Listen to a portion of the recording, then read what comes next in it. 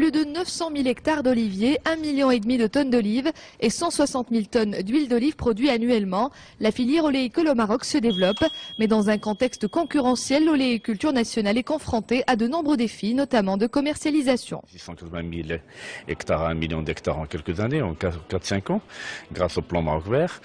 Euh, ce qui a le, problème qui existe actuellement, c'est le problème de la commercialisation, que ce soit au niveau du marché local ou de l'export. Nous avons pu faire un, un saut quantitatif avec euh, l'implantation au niveau des différentes régions des unités de transformation selon une approche de bassin de production afin de euh, permettre euh, de la maîtrise et le contrôle de la qualité, ce qui va nous permettre euh, d'encourager et d'appuyer euh, notre produit à l'extérieur.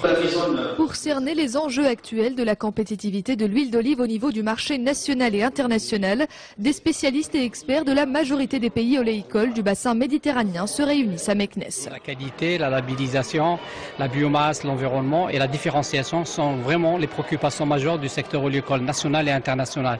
Donc on a une problématique actuellement d'améliorer la compétitivité et la compétitivité doit être améliorée dans un contexte général avec une stratégie production, marketing, commercialisation et aussi protection de l'environnement. Je crois que c'est tellement important ce, qui a été fait ici à Meknes avec l'agropole Olivier et en général avec le plan Maroc parce qu'on a vu qu'il y a eu une double production pendant quelques années, donc ça, ça, ça, ça nous donne l'espoir euh, que ça va aller très bien au futur.